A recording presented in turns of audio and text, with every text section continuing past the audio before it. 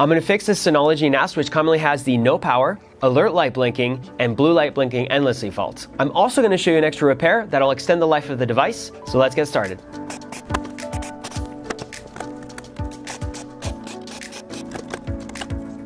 All right, now let's bring it to our workbench. Our first step is gonna be to check our battery. So a brand new one typically reads around 3.3 volts. And this one is giving us about 3.13. So that's close enough, but we're gonna go ahead and replace it anyways.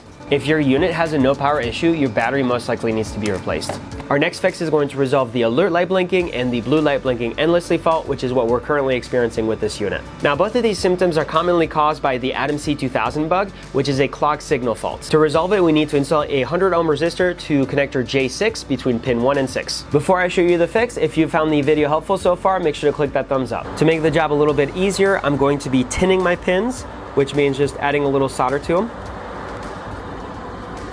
just like that. All right, and I have the camera at an angle just so you can see a little bit better.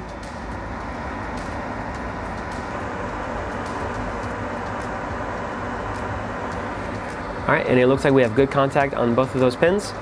All right, if I plug the motherboard back in right now, technically it would work, but there was that extra repair to extend the life of the device, which I'll show you next. Now zooming in on the power connector here, we have the transistor Q2 just over here. When it fails, it typically will cause a no power fault. So if you replace the battery and you still have a no power fault, you're gonna wanna replace Q2 next.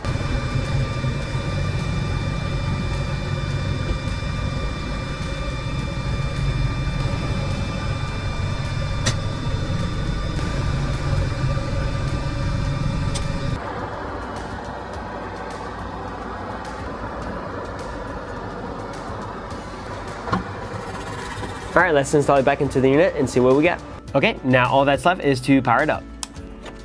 And our blue light is blinking. Before we did have the alert light coming on and it is not anymore. So we have another successful repair. If you found the content helpful or useful, make sure to leave us a like and subscribe. Thanks for watching. Oh, green status light is on.